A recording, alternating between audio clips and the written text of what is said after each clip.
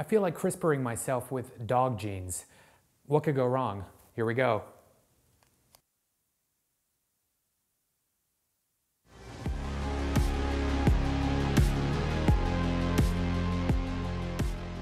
Hello world, it's Siraj, and the promises of synthetic biology are too hard to ignore.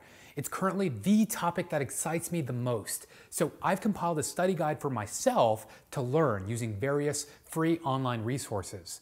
In this video, I'd like to share my study guide with you so you can join me on my learning journey. When I spent several months traveling through India, I experienced such incredible beauty, but I also saw some immense problems firsthand, namely pollution, poverty, and a lack of quality healthcare.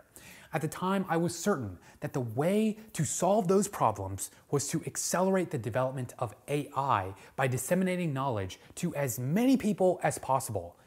Now, however, I realize that the way to solve them is not just, is not just to focus on creating better statistical algorithms, aka AI. It's to create better biological systems, and AI is a tool to help with that. Synthetic biology will have profound impacts in medicine, agriculture, energy, and manufacturing. Imagine a world where independent developers, not just big companies, can design intelligent molecular robots that deliver drugs and antidotes. They can design crops that create yields that are 100x more abundant than usual, new types of biofuels that produce zero emissions, new types of houses that grow and repair themselves. To get there, we'll need to further understand the oldest programming language on Earth, DNA. DNA is a molecule that defines the instruction set for a given organism. There are thousands of traits you have that can be traced back to your DNA, from an aversion to cilantro to the ability to twerk yo booty. All right, let's cut to the chase here. The first step in my study plan is to follow the most important people in this field. Who are they? I found that the best way to find them is to follow everyone that the J. Craig Venter Institute follows on Twitter. Craig Venter is one of the fathers of synthetic biology. He led the first draft sequence of the human genome and built the first team to create the world's first synthetic organism.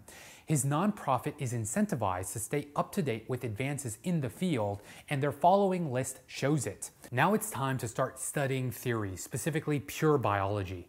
MIT's Intro to Biology feels like the best first step here. These video lectures are by Professor Eric Lander, a principal leader of the Human Genome Project. And this course is pretty expansive, covering biochemistry, genetics, molecular biology, and cell biology together.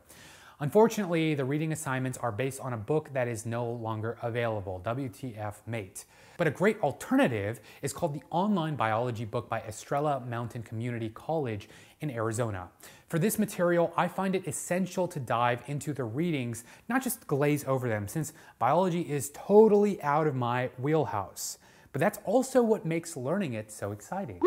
The quizzes are also definitely worth checking out. They've got some great illustrations. Since biology is the highest level concept here, I thought it would be important to start with that and develop a broad sense of what all of its subtopics are and how they fit together. Biological organisms are a result of chains of chemical reactions occurring within them that direct activity. And the study of this, biochemistry, is the next topic to learn about. Oregon State University has a free biochemistry course that includes a mind-boggling 52 video lectures and a related free textbook called Biochemistry Free and Easy. The video lectures have rave reviews on iTunes, but I think this related book is the real gem. I am in love with these colored illustrations. Clearly, there will be some overlap between this course and the previous, but overall, it's worth it. So we're building our tree of knowledge one step at a time. We've learned about broad concepts in biology and biochemistry. Now let's go even deeper on to a specific relevant subtopic, genetics. Genetics is the study of genes, which are made up of DNA, the building blocks of life. Since the last two courses discussed some basic concepts of genetics already, for the third module, we're going to read a book titled She Has Her Mother's Laugh.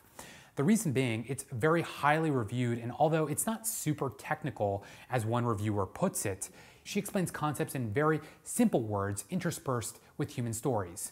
The book also gives some background into CRISPR, the popular cut and paste tool for DNA that makes genetic modification much easier than ever before.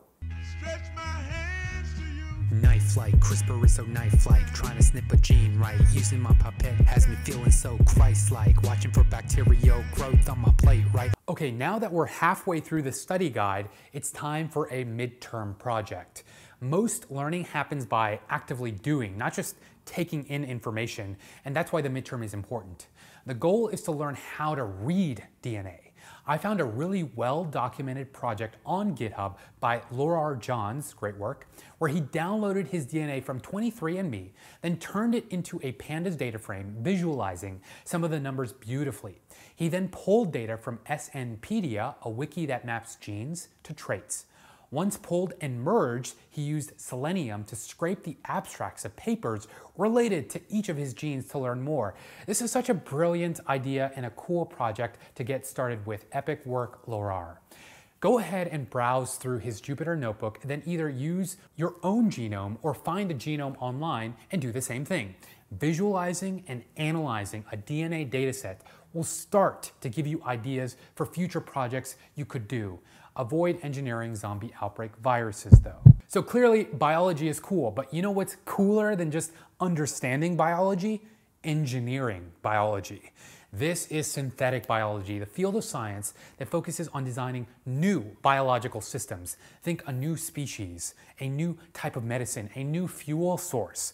The possibilities are truly only limited by your imagination.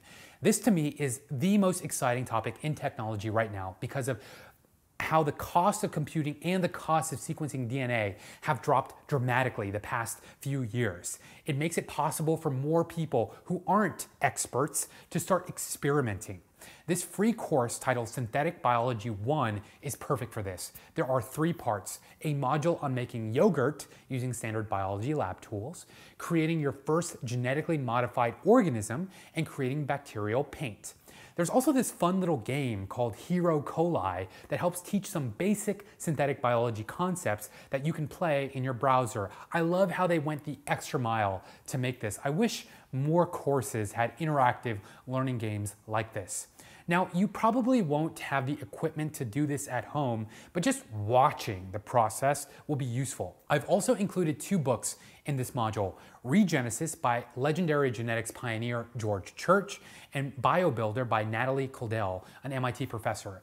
BioBuilder is what keeps getting recommended by people in the synthetic biology subreddit as a great source of instructional information. Also, I just had to include this. This is the first time I've ever seen anything like this. Three MIT researchers compiled a YouTube playlist of relevant synthetic biology videos, then wrote a scientific paper about that playlist. Achievement unlocked. The last thing I've included in this module is a list of possible genetic modifications. To some, this might seem like a page full of technical jargon, but when I look at this, I see the human source code. These traits define us, and we can theoretically add or remove any of these with modern tools. And speaking of those tools, what are they? That's what Module 5 is dedicated towards software tools that allow us to begin to explore and modify genes. The first tool I came across was Cello, written in a mixture of Python and Java that allows a developer to design a circuit in DNA. Normally, electrical engineers design hardware circuits programmatically, and the developers behind Cello applied that same concept to biological systems. I learned about Cello after watching a series of videos by this iBiology team, and I really like them, especially the ones by the project lead, Chris Voigt. Another big library here is BioPython. It's a Python library dedicated to bioinformatics that allows you to modify gene sequences in a million different ways. And it's even got a bunch of machine learning techniques like logistic regression built into it, which allows you to predict different features for each gene. Looking through the documentation, it's a well-maintained and highly feature-rich library, so definitely start playing with it. Also, one of the biggest contributors to synthetic biology software on GitHub is the Edinburgh Genome Foundry. They've got tools for designing and building genetic systems, like at least 15 different libraries. Don't expect to understand them all, I don't. Just keep the list handy for when the time comes. And the last tool to explore is caDNAno.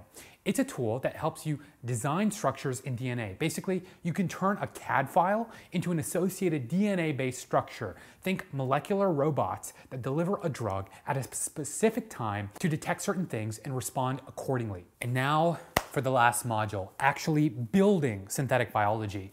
Since not everyone has a wet lab sitting at home, I found a virtual lab that's incredibly fun called Labster.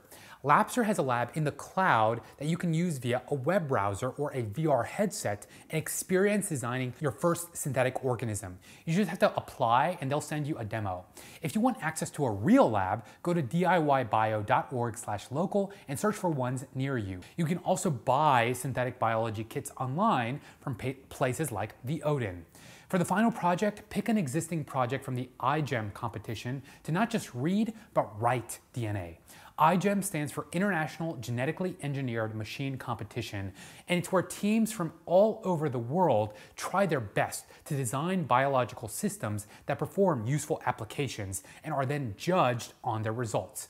Some of these teams came up with incredibly creative solutions from acne cures based on bacteria to fluorescence emitting devices that help mine gold. I challenge you to complete this study guide by pledging to do so on social media using the hashtag molecular dharma.